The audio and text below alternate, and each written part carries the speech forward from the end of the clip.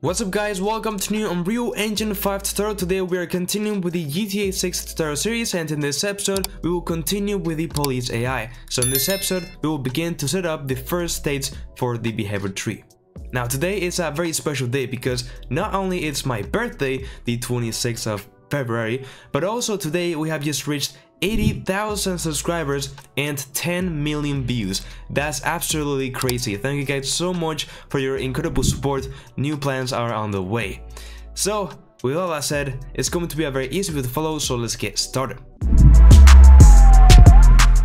Alright, as you can see, we have this AI folder that we built in the previous episode with our police, you know, um, Blackboard data, behavior tree, um, actor itself, and so on.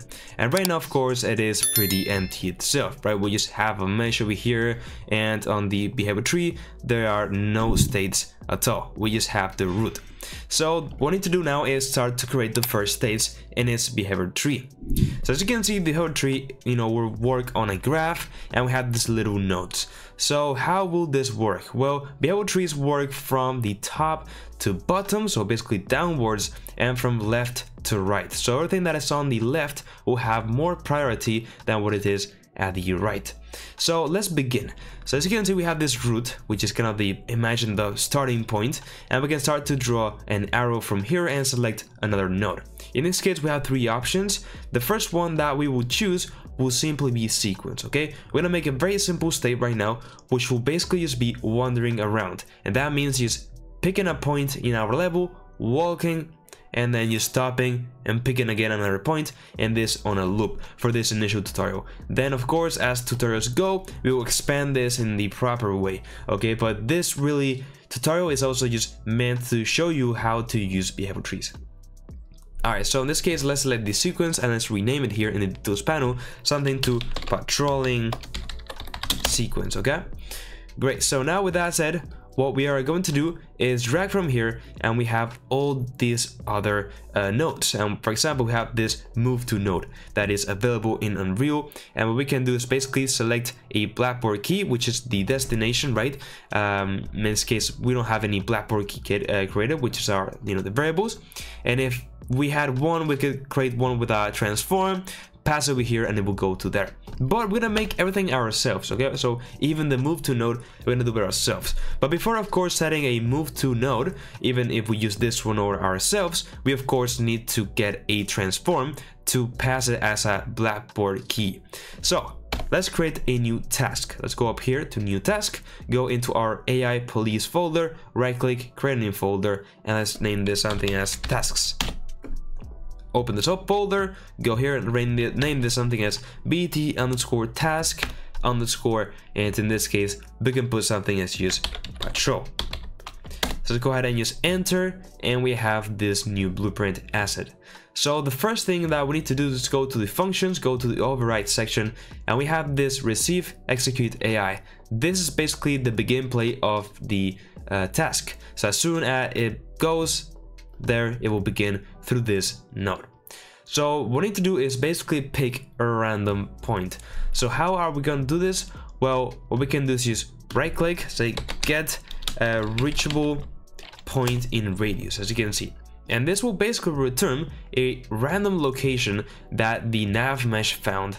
Now the nav mesh will be a component that we need to add to the level a bit later so our AI can walk. So the origin will basically be where the AI is right now. So we get the controlled pawn, we can simply just get the actor location of that pawn, that it is the police, and there we go. Now the radius is how far away we'll be you know able to pick a point. In this case let's put something as 3000 so you know it can walk pretty much uh, you know long distances kind of. Not so long but you know a normal thing. And then what we need to do with this random location is of course go ahead and move to the destination. Now in this case, we could you know save it on a variable and then on another task move to it but let's just do it all at once right? Just go here do an ai move to node which will be this one and with this we can simply just pass the random location to the destination and our ai will move and we'll do both on the same you know um, task. Pick a location and move it and you know this is very simple so that's why we're doing it on a single task not splitting it because well literally it's two nodes to get the location so we don't need a whole other task for that so then the pawn will basically be the control pawn. Remember to plug that in, that's what we are moving. And then the acceptance radius, we're gonna leave it at 5 because it's how close it will get to that point. 5 is okay. And then on success, we will have this finish execute node, okay? Which is the needed uh, you know, to let know the task when it has to finish. Let's mark it as success on here, copy paste it, and on fail it will be unticked with success. And there we go. Now that will work, you know, and everything we just work fine, right? So as you can see now, if we go back to the behavior tree and go to our sequence, we can drag from here one of our tasks, which in this case, it will be the BT task patrol. And now our guy will go pick a random point and just go to there. But before we actually test that out, we're gonna add another node right at the right. And guess what? It's going to be a wait node, which, you know, comes by default. And we can set the duration to maybe 2 seconds. So instead of finishing and immediately starting again and just picking a point, we're going to make our AI uh, policeman just go ahead and wait 2 seconds where it is an idle and then go ahead and, you know, patrol again. And in this case, we're putting this to the right because we want to execute it after as this will have a higher priority. Alright, so with that said, we are now good to go. If we go to test, just go and drag our policeman, there's one thing left, and it's the nav mesh. Because right now if I press play, you will see that actually nothing will happen. He will not move even though he has the behavior tree and everything working. So we need to go up here into quickly add to the PRED, go to volumes and add this thing called the nav mesh bounds volume.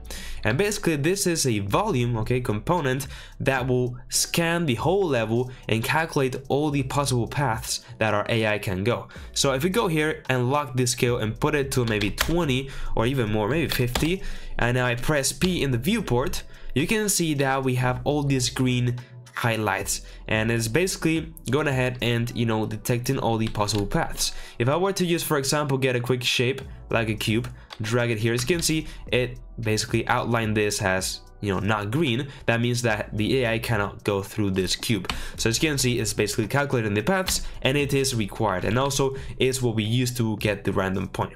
So now if I press play boom surprise surprise he is moving. He's basically picking a random point waiting two seconds and boom again. Now he looks awful because there are no animations. He's sliding and he's going super fast and turning very aggressively not smoothly. Like look boom. So let's you you know do those uh, quick changes over here. So those changes we'll need to do you know on the pawn itself. So as you can see we have this the character movement component. So we're gonna go into the max walk speed and set it to maybe to around 350 so he'll be basically walking then we're gonna go to the class default, search for yaw, and disable this. You may remember this from one of the first episodes, which is basically how the controller will turn. We don't want yaw because that will hard code the rotation to be very harsh, Well, instead to go to the character movement component, go down, and enable the uh, orient rotation to movement. Actually not, use controller desired rotation. Uh, they're very similar, but you know, if the character goes backwards, he'll face backwards. And in this case maybe we don't want that. So I'm gonna leave it as use controller desired rotation. And this will add some smoothness okay? So if now press play. You can see how that he goes in a more you know reasonable um, speed. He has a moving car. And you know he's uh, turning smoothly. There we go. So I think he's going too fast actually. Still. So let's go here and put it to maybe 250 there we go and then quickly gonna go ahead and set up um, his animations. So actually if we go to blueprint we probably have the civilian and that will work for now. Um, yes so as you can see that is indeed working for now.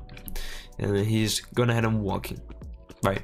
Uh, now his speed is a bit offset from the animation so let's quickly check what speed we had on the civilians so if we go to the data file from our civilians, which is under here, and we have the mass entity, we have the movement, we have the max speed, which is 150. So let's go ahead, go back here and set the max speed to 150, and that way we don't have to adjust the animation blend space to accommodate that new speed, and boom, there we go. So now we have the policeman going ahead and walking with his first state, and you know, everything just works.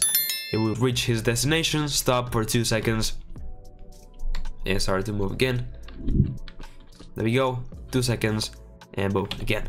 And everything is just controlled by the behavior tree. We can even go press F8 while play mode we can preview this as you can see. So there we go. We have just made our first state for our police AI. Very basic of course, just picking a random point and moving and waiting two seconds.